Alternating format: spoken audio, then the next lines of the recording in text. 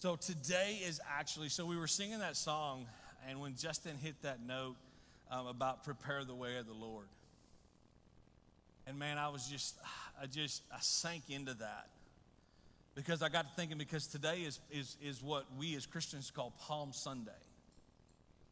This is the day that Jesus rode into Jerusalem and they welcomed him in. And by doing that, they laid palm leaves down in front of him. And he came into Jerusalem and he rode in. And so I just, I just had in my mind as we were worshiping, as we were just singing and, and just praising his name, that we were just, come on, we were just preparing the way for him preparing the way for Him to touch our lives, preparing the way for Him to come into our hearts, preparing the way for Him to do for us what He said He would do. Amen? And so, in doing that, we've been on this series, and I love this series, and I love that it hit. Um, it actually hit right where I, I'm so glad it did. And, and it did this way as a complete God thing because we're supposed to be on on, on the fourth part of this series, but we're on the third part because last week we had an amazing message given to us by Pastor Sean from Vertical Church. And uh, if you are not here, go watch the message. Like he spent time asking God, what did we need as a church at this point in time? And he talked about harvest last week an absolutely amazing message. So I'm so thankful that they are in our lives and so thankful that they were able to come. Um, but we are on this series called What's the Point? What's the Point? And the subtitle of that is Donkey Mission. Come on, like, like actual donkey mission. Like we've been talking about this guy in the Old Testament named Saul and he went on a mission looking for donkeys. I mean, we're talking, come on, y'all, looking for donkeys for his dad. We talked about last week, like we know a lot of things and it shows us a lot of things, but there's things that it didn't show us. Like we have no idea how many donkeys there were. That's it. We have no idea how many donkeys there were. We have, we have no idea that he took a guy with him. We have no idea what the guy's name was. But there are several things that the Bible does say within that. And so today we're gonna we're gonna talk about something um, that I know we all need to talk about. Excuses. Oh yeah, that was a great response. I like that. Excuses. Today, because that is something when we are on our donkey mission. You see, we all go through donkey missions. We all go through things that seem like it's just a mundane. What are we doing? Why are we having to walk through this? Why are we having to go through this? And a lot of times when we're going through it, man, we make excuses on why we shouldn't be going through it. Y'all don't do that, do you? Okay, that's okay. you know, let me ask you a question. When was the last time you made an excuse? You see, we, we kind of ask a question every week about things, and usually it's like, oh, yeah, I, I can answer that, right? But excuses are one of those things that, um, like, you don't realize you're making it until afterwards. You know, like, like, um, hey guys, I, I, can't come today because of this or because of that or because of what's going in or you know what? Hey, uh, I know I need to go to the gym, but I'm busy today. I know I need to eat better, but man, like like like Mama made some cheeseburgers last night that were just like, you know what I mean? Like I got invited out to eat, Pastor. Like I was eating good, I was doing good, but you know what? I, I may have I may have fell off with that cheeseburger last night. I didn't have a cheeseburger. I wish I. Never mind. Anyway. Um, So, we want to talk today um, about the importance of this. So, if you would turn with me, we're going to go back to our story in 1 Samuel chapter 9. And we're going to go back to verse 1. We're going to read through a, th- a few things here. So, before we get there, while you guys are turning there, I'm going to pray. Amen. So, Father, I just thank you for today. I thank you for the hearts that are here today. Lord, that our hearts would be opened up to receive from you. That our ears would be open to hear from you, Holy Spirit, that you would speak to us. And that our eyes would be opened, that we may see, Father, what you have for us today. Father, let it be more than just me speaking up here. Let it come directly from you. Holy Spirit, speak to the hearts. Let us receive what each person needs today directly from you, God. Father, we thank you for this in Jesus' name. Amen. So, 1 Samuel, here we go. 1 Samuel chapter 9, we're going to start in verse 1. And it said, There was a Benjamite, a man of standing, whose name was Kish, son of Abel. And then we go through this whole thing. And then verse 2, it says, Kish had a son whose name was Saul. As handsome of a young man as it could be found anywhere in Israel, and he was the head taller than anyone else. Verse 3 Now the donkeys belonging to Saul's father Kish were lost. And Kish said to his son Saul, Take a servant and go look for the donkeys. So they took off, and, and here's the deal they took off to, to several different places. And an actual donkey mission of looking for donkeys. Like, come on, y'all. Something I'm sure he did not want to do traveled 30 to 40 miles looking for these donkeys. And then we get to verse 5, and it says this they, they end up in this, this place called Zeph. It says, When they reached the district of Zeph, Saul said to his servant who was with him, Come on, let's, let's just go back. Said, My father will stop thinking about the donkeys and start worrying about us. In other words, we've been out here so long that my dad is going to forget the donkeys. Like, where's my son at? Come on, y'all. And so he wanted to quit and he wanted to go back. Verse 6, let's keep going. So thankful for the servant that was with him because he said, Hang on. He said, But but look, he said, in this town, said, we just happen to be here. In this town, there's a man of God and he's highly respected, and everything that he says comes true. Let us go there now. Perhaps he will tell us the way to take.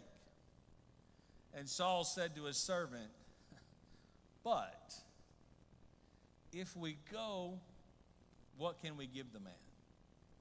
The food in our sack is gone. We've been traveling for so long. We have no gift to take to the man of God. What do we have?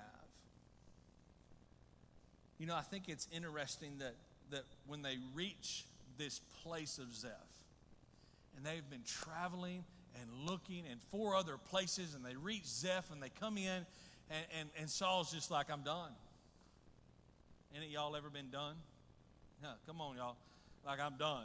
Some of y'all at work on Friday was like, hey, huh, I know it's only 10 a.m., but I'm done. You know what I mean? Like, like, come on, like, it's time to go home. I know some of y'all teach school. It's like, yep, it's almost done, right? Come on. All my teachers are saying, yes, amen. But he starts making excuses on this trip. And he starts making excuses. Hey, let's just, we don't have anything. And then, and then his servant's like, hey, listen, we can do this. Like, I've got this man of God just happens to be here at this certain time. Now, this was the prophet Samuel, and what God did in the Old Testament, like in the New Testament, God's inside of us and speaking to us. But in the Old Testament, He used these men of God to speak to people. And this was a man of God that God spoke to, and then He spoke to the nations, and they followed what He said. Everything He said came true. And He's like, You want me to go ask Him about my donkeys? Yeah, let's go ask Him about our donkeys. And so He starts making all these excuses. So I want to give you three thoughts on our excuses. You ready? If you're taking notes, uh, write these down. If you're not taking notes, take notes and write these down and so that you will not forget them. All right, number one, you ready? Excuses always start with but. Excuses. Did you see it? I mean, he said, his servant was like, hey, let's go do this. And Saul was like, yeah, but you know what? I don't know if we can I don't know if we have. I, I don't think we can. Guys, every time you start something with but, you're starting an excuse. his, his friend, his, his servant that is with him, offers a possible solution. And it starts out with Saul going, Yeah, but. How many of us in our life, when we're, we're following God and we're doing the things God has us to do, and we just reach that point, and sometimes we're just like, God's like, hey, I just, why don't you go into this one more city? Let's do this one more thing. Yeah, but it didn't work out the last time. Like it just, it didn't work out, and I'm just not sure about this time. We all do this. Trying to eat healthy, trying to exercise, our to do list, our housework, Come on, our kids' homework. How many kids? I didn't get into that. Um, paperwork. And can we just be real? Any work? We just like, but do I really? Oh, y'all ain't like me. Okay.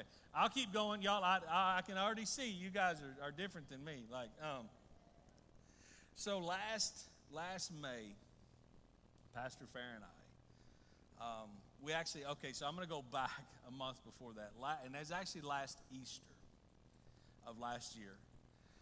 So, how many y'all always do your Easter photos, right? Like we and we and next week we will have a backdrop. We'll have the little Easter deal out here. Y'all come take photos, um, you, all that good stuff. Uh, if you want kind of a, a, a really nice photo, Christy will be here with her camera and taking photos and things. So last year it's like this is the one time a year, I don't know about you guys, this is the one time a year that my family actually gets together and actually takes a photo. Everybody slows down long enough, right?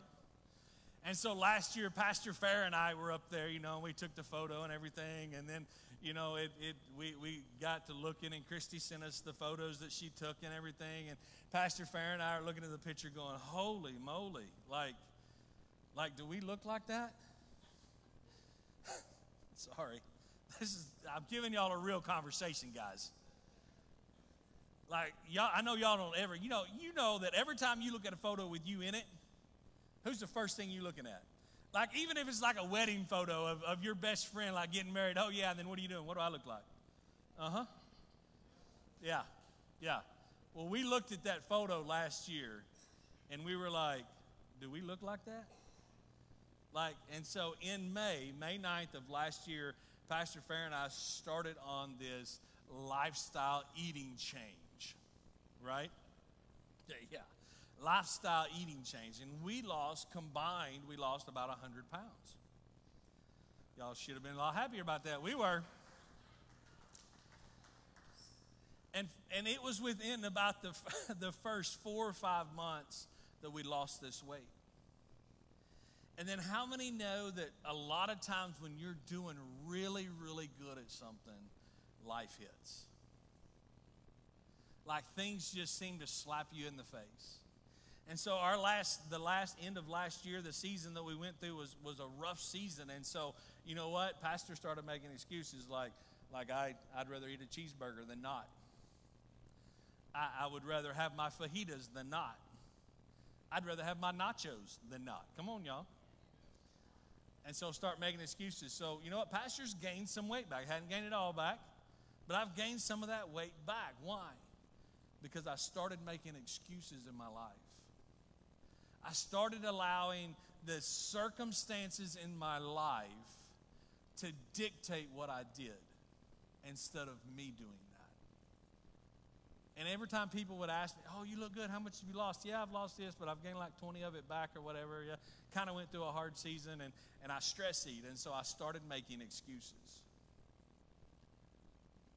How many of us in our life, when we get a word from God and we are pushing forward in our word from God, and then the devil just slaps us upside the head and we start making excuses why we can't finish? we start making excuses why things just don't. Well, I, I, I, I lost my mom, so I started to eat. I lost my dad. I lost my job. COVID hit. and things just turned everything upside down. And, and we start using these excuses in why we're doing things in our life. So I've got a question for you. Where have you been making excuses?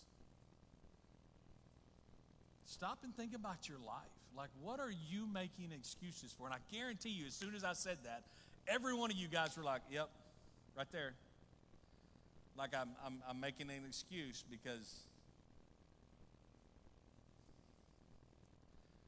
How long are you going to let the same excuse keep you from moving forward and keep you from your greater mission. You see, Saul hit a place in his donkey mission to where God had ordained him to be in Zeph, talking to the prophet at a specific time, told the prophet 24 hours earlier, I'm sending you somebody to anoint to be the king.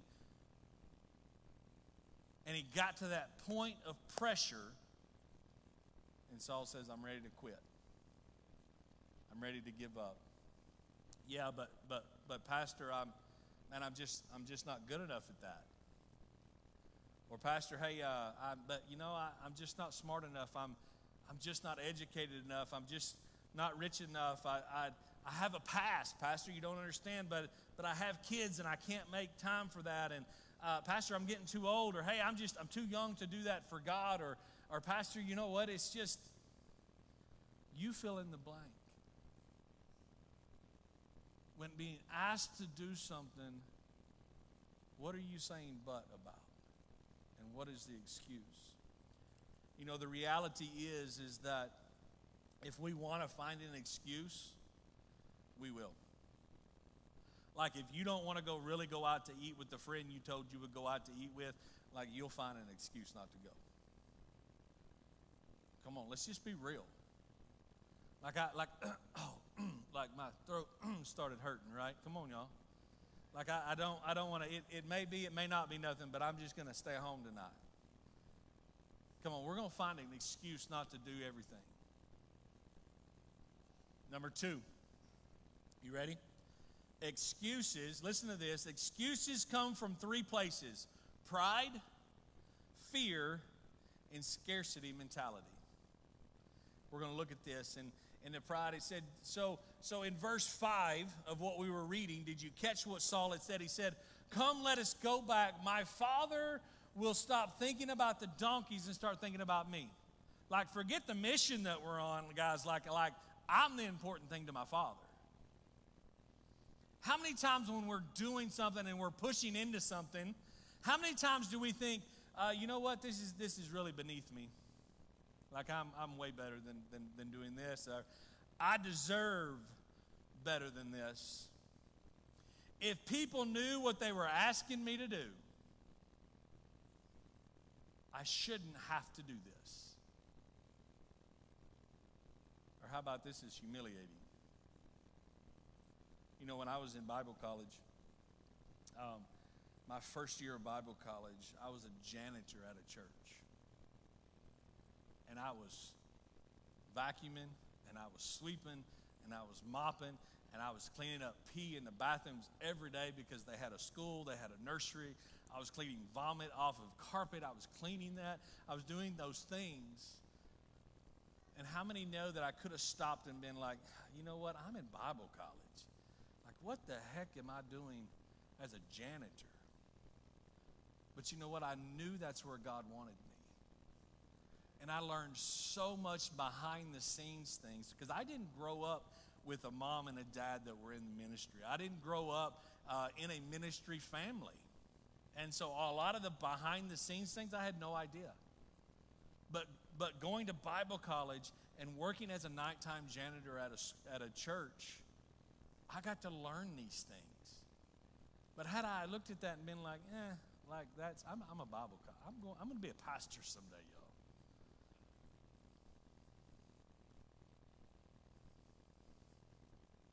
The second one, fear.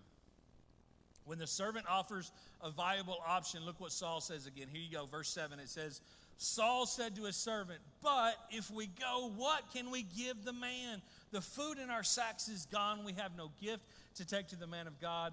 What do we have? You see, he jumps into fear mode. Like if we go, we don't, we don't have anything to give to him. How many times has God asked you to do something and you're like, I just I, I can't do it. I don't I don't have the resources to do that. How many of you during an offering, God puts an, a, amount on your heart and you're like, God, you know what my bills are this week. You know what's going on. How many times do we make excuses? Amen? Come on, y'all. Let's just be real today. Fear jumps in. How often do we do it in our own lives? Like when you get asked to do something or go somewhere, like I don't have anything to, to wear. I don't, I don't have time to go. And what will people think? And, I, you know, I just can't afford that. Man, don't invite them over. The house isn't clean. You don't know how many times, not, I'm not trying to make excuses about my wife. This is more about me not asking my wife. But you know what? I just invite people over. And then about five minutes, I'm like, oh, hey, like I invited so and so to come over. And she's like, what? And y'all know about that closet that we talked about last week, right? That you, that's, yeah, it's that closet that you shove everything in. What is it that makes us react this way? It's fear fear of rejection and fear of failure. You know, I look back in my life at a lot of things that, that I could have done, and I look at a fear of failure. I look at a fear of, of, of rejection of, of my friends. You know, growing up in high school, that's a, that's a big thing, and we've all been there. Like we don't do certain things because we don't want to get rejected or we, we, just, we just don't want to do it. And that mentality follows us over into our workplace. God said, Hey, I've given you a gift and a skill to do something. And you're just like, Yeah, but what if it doesn't work? What if, what if I can't accomplish that? What will my friends think about me if I don't do that? You know, when we four and a half years ago. And actually, we started in this building five years ago, but we didn't launch until September of 2018. But God asked us, I need you to go plant a church. I need you to go plant a church. And it ended up being, at that time, we didn't know where it was at, but it ended up being Abilene, Texas. And, and I, I'll be honest, there was a little bit of fear there. Because God said, go sell everything you have and move.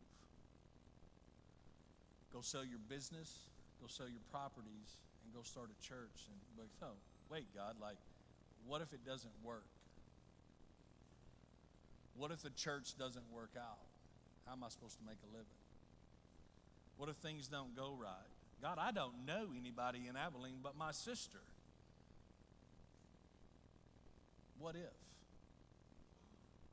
What if people don't like what I have to say? What if people don't like me? What if the things set fear of failure and that fear of rejection? And then we have a fear of scarcity mentality. When the servant offers a viable option, Saul saw through the eyes of scarcity, not faith verse 7, it said this. It said, Saul said to his servant, But if we go, what can we give the man? The food in our sacks are gone. We have no gift to take to him. What do we have? You know, we have nothing to give to him. You know, I think a lot of times when we push into things, think about your life right now. Think about where you are right now. Think about your job, your home, your kids, everything you have. Think about what you want to supply, what you want to do, what you want to see happen. Are we standing in faith for everything? Are we standing in faith for what God wants us to do? Or are we in a, a fear mentality, a scarcity mentality? Like if I step out, and let me tell you what, when God said sell everything and move to start a church, we sold everything without an income coming in, without anything. And then, get what God did here. Aha, right? Sometimes I think He just enjoys this. So, we were supposed to launch our church in February of 2018. We get up to October of 2018, the beginning of October, and God laid on my heart, you need to move your launch date to September. I fought with, I don't know y'all do this, but I fought with God for three weeks. God, I don't have the resources to go another six months.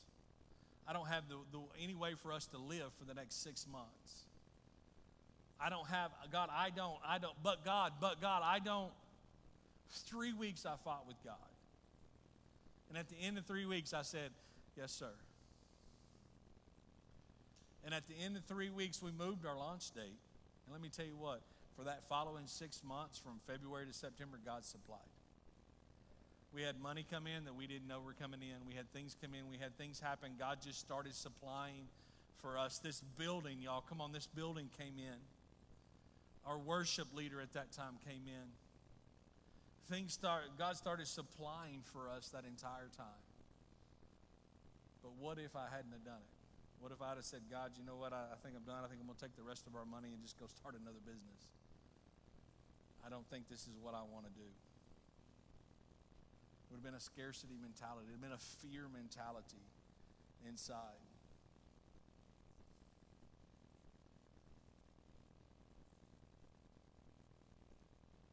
Do you see yourself in any of Saul's excuses? Do you see yourself in a fear mentality?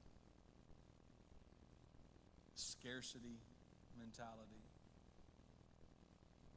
Do you see yourself? So the question is, what do we do? Come on, how many how many always like like we need an answer to the question, right? So let's give an answer to that. Number 3, we overcome excuses with faith. We overcome excuses with faith. When Saul pushed back, here's what his servant said, and I love this. Verse 8 The servant answered to him, Look, I have a quarter of a shekel of silver, and I will give it to the man of God, and he will tell us what way to take.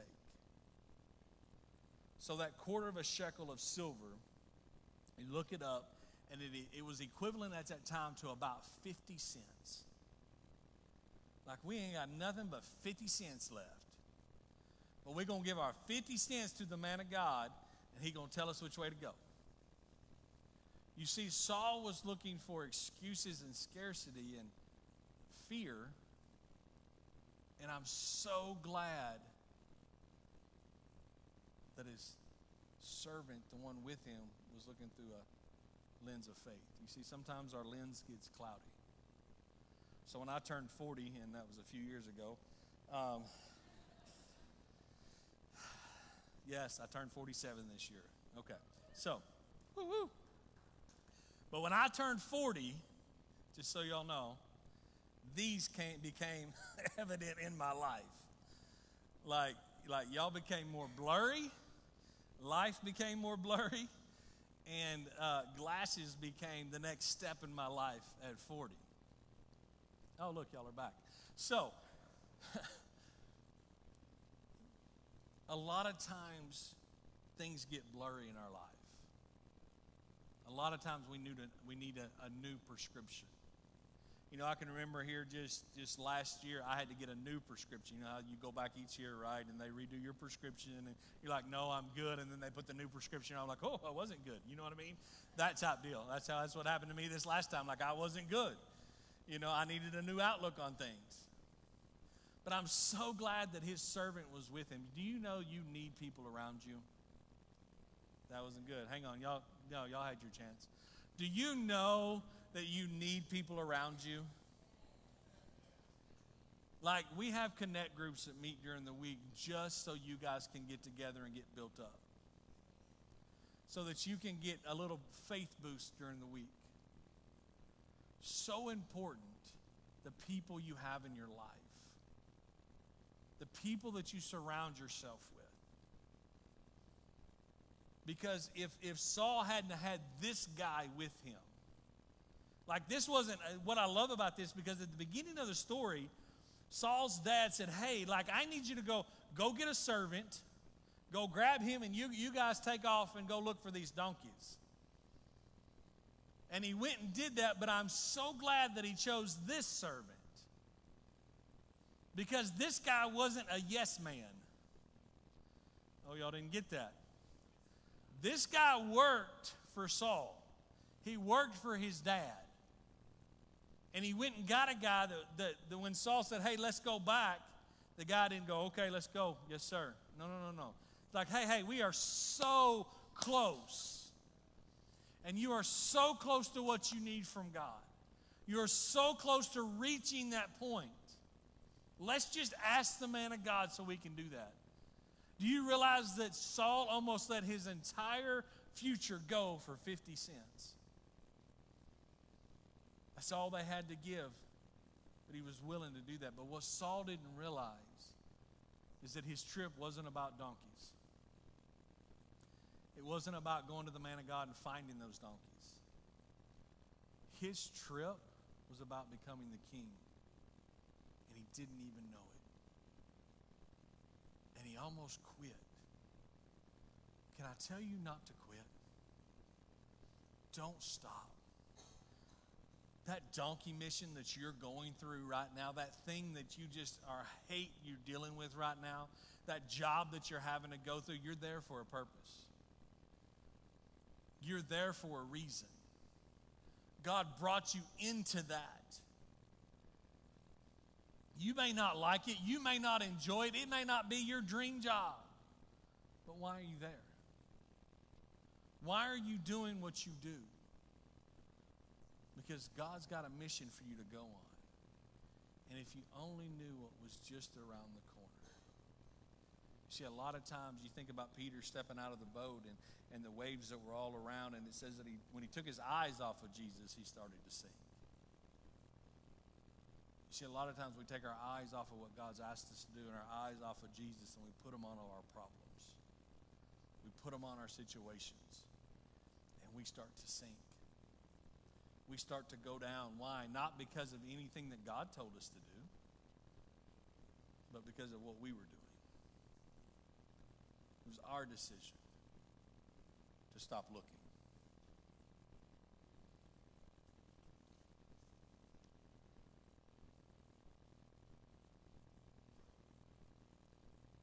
We can all see that through the eyes of scarcity, or we can all see through the eyes of faith. You have a choice in your life what to look through. You have a choice in your life what to see. And I want to challenge you to start looking through the eyes of faith. Hebrews 11:6 says that without faith it's impossible to please God. Because the ones that come to him must first believe that he exists. And number two, that he's a rewarder of those that diligently seek him. See, I think there's a diligent part that we need to jump on. And I think we need to jump on the faith and start believing God and start looking toward him. So I challenge you to look into your life and I challenge you to, to see what excuses have you been making? What excuses have you been making in your life? And what area of your life have you been living by fear and scarcity instead of faith? Take a huge look at it. You see, Jesus went on a donkey mission. Because on Palm Sunday, he literally rode in on a donkey but he had a purpose behind it. But you know, even Jesus in the garden when he was praying, Jesus stopped and the human side of God came out and he said, Lord, if there is a way, if there's a way that you can take this pressure off of me, he said, but nevertheless, I'll take it on. Not my will, but your will. So I encourage you in your life, stop looking at your life and start looking at it through God's eyes. Because God's perspective is so much better than our perspective. Amen? You guys pray with me this morning. Father, I just thank you for today. I thank you for what you're doing and how you're doing it. Father, I thank you for people in our lives that help us walk and talk with you, God. I thank you for people that build us up, Father. And Lord, I just ask, Father, that if there's anyone in here that doesn't have someone in their life that builds them up, that you would send them somebody. Send them somebody to walk beside them to build them up. And Father, I also ask that you show us people in our lives that we are supposed to help build up. Father, that we're not just receiving, but we're giving out, Father. We're giving from ourselves, Father. Lord, you're truly an amazing.